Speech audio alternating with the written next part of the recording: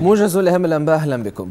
نفى المجلس الرئاسي المقترح التوصل لاتفاق نهائي بخصوص توحيد المؤسسة العسكرية في محادثات القاهرة. وحذر الرئاسي المقترح في بيان عبر صفحته على الفيسبوك مما وصفها بالتصريحات غير المسؤولة التي قد تؤثر سلبا على النتائج المرجوة من الاجتماعات وفق البيان.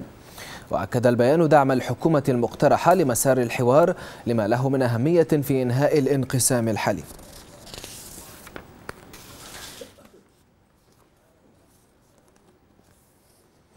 أكد المتحدث باسم ميليشيات الكرام أحمد المسماري اتفاق الأطراف المجتمعة في القاهرة على تشكيل ثلاثة مجالس لتوحيد المؤسسة العسكرية الليبية متمثلة في مجلس أمن قومي ومجلس دفاع أعلى وقيادة عامة.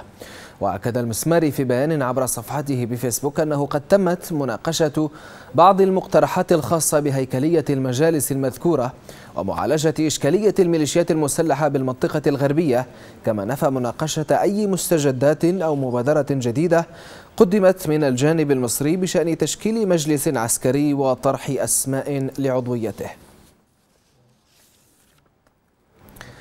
نظم عدد من شباب مدينة بنغازي وقفة احتجاجية للمطالبة بكشف مصير عميد بلدية بنغازي المختطف أحمد العريبي.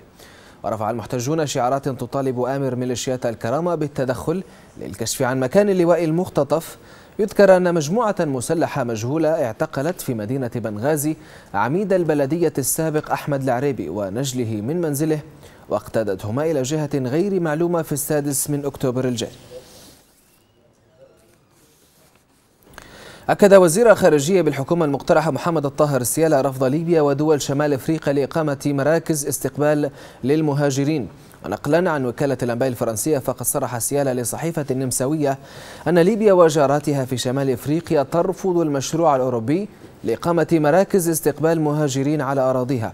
يذكر أن القادة الأوروبيين قد قدموا في يونيو الماضي دراسة شملت مراكز استقبال في ليبيا للمهاجرين الذين يجري ضبطهم في المتوسط بهدف منعهم من الوصول إلى أراضيها.